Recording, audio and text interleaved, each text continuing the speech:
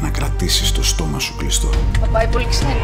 Τι κάνει με τον πατέρα του Πέτρου; Για μένα θα είσαι πάντα η κόρη της Αγγελικής. Δεν έχεις να φοβάσαι τίποτα. Σήμερα θα σταθείς μάρτυρας μιας μεγάλης απάτης. Τη σημερινή μέρα θα τη γιορτάζει με πανηγύρι το χωριό. Χάρη σε σένα. Κρίμα που δεν κράτησες το στόμα σου κλειστό. Ζή! Δεν αντιδρά. Μαύρο Ρόδο. Απόψε στις 9.